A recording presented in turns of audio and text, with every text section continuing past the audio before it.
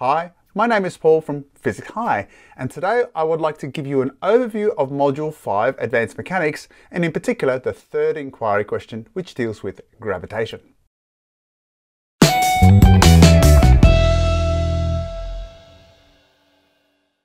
Now, I am not going to give you a full detailed description of everything that's involved in Module 5. It's meant to be an overview so that you can highlight some of the key points that you need to remember and also some tips in terms of how to succeed in any future exam. I have lots of videos that go into each of the concepts at a greater detail, so I encourage you to have a look at those and you can find them on my website or on YouTube, of course. A quick reminder, anything that I produce here will actually be available in a printable version, so you can access that via the link in the description below.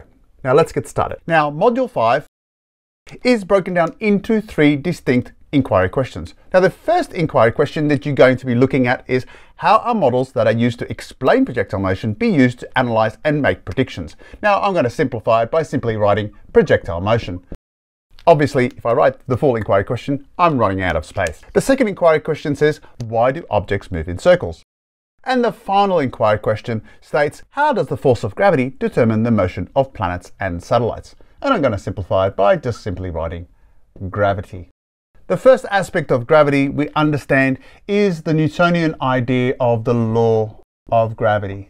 Now the law of gravity of course is Isaac Newton's understanding or description of how gravity works. That is, a force that exists between two masses and where the, the, force that exists is proportional to the product of the masses and indirectly proportional to the distance between them squared. Now appreciate the fact that what Isaac Newton did was a description of gravity and it's a model that describes gravity as a force but he did not seek out or did not understand why gravity actually occurs. That was left to Albert Einstein in the early part of the 20th century when he published his general theory of relativity, which gave us an understanding of gravity, not in terms of a force, but in terms of a distortion of space-time. That's definitely beyond the scope of the course, but I want to make the point that here is a model of gravity that has limitations. Now, the law of gravity, which I just discussed, leads us onto a number of other key aspects that the syllabus looks at. The first is Kepler's laws of motion. And when we look at Kepler's laws of motion, we particularly are interested in the fact that the path of the planets around the sun are not circular, they are actually elliptical. Also that the velocity that they have or the rate of motion angular wise is determined by how far they are. They move slower when they're further away from the central mass and faster when they move closer to the central mass. And then now that leads us into the third Kepler law, which says that the ratio between the displacement or the radius cubed over the period squared is a constant value. And it was Isaac Newton's understanding of the law of gravity that allows us to work out that that k equals gm over 4 pi squared. And so you need to know that particular mathematical formula. In fact, it's provided for you in the formula sheet and allows you to solve various problems, problems related to RT and the mass of the central object. And this mathematical model is perfect to understand purely circular motion. And you'll see because this relates to circular motion, it ties back to our second inquiry question. The other aspect of examining in the syllabus is the concept of orbital velocity. And that allows you to work out the fact that the orbital velocity of an object undergoing circular motion, because the circular motion means we have a centripetal force which is provided by the gravitational force as Newton described it, and allows us to get us the formula which equals this formula here. So here we are analyzing motion of planets and satellites by using Kepler's laws and by using mechanical analysis using the laws of gravitation. We then move on to the idea of what is a gravitational field.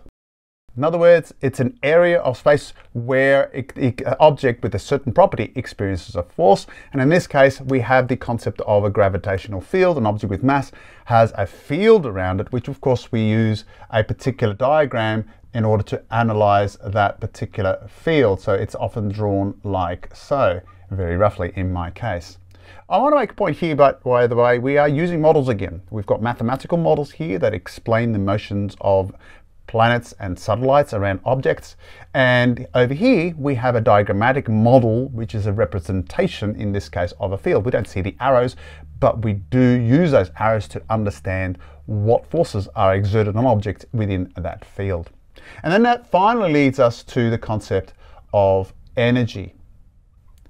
And that's of course divided up into two areas, the idea of the gravitational energy and secondly the kinetic energy. The gravitational energy of course is not equal to mgh anymore because that assumes that g is constant and we now know through our understanding of gravity that g gets weaker as we move away. And so as a result, you develop a new formula for the strength of the gravitational potential energy. And so that also then encompasses, well, how can we understand the total energy of an object? Now, in this case, we may incorporate the idea of escape velocity. In other words, what is the velocity required for an object to escape the gravitational field? And then also, if we have, let's say, satellites in orbit, we already discussed that the velocity changes and also the distance from its central mass changes, which means both the kinetic energy and the gravitational potential energy changes. Well, how does that combine when we look at the total energy of the object in orbit? And so that encompasses our understanding of gravity. So lastly, I want to say, what is my big tip? Well, my big tip here is derive. What do I mean? Well, I've just given you two mathematical formulas over here, and there is an expectation that you know the fundamental principles behind those formulas. In other words, how did this formula come about? Know how to derive it. Now, in this case, this particular formula is actually given into the formula sheet, but I encourage you know the principles that exist behind it that allow you to develop that formula.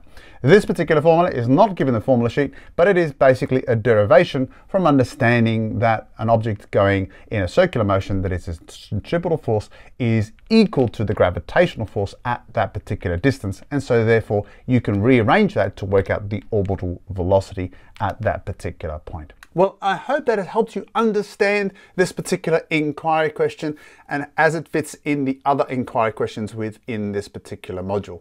Please remember to like, share and subscribe. Put a comment down below if this has been helpful for you. And please consider supporting me by buying me a coffee. The link is in the description below. My name is Paul from Physics High. Take care and bye for now.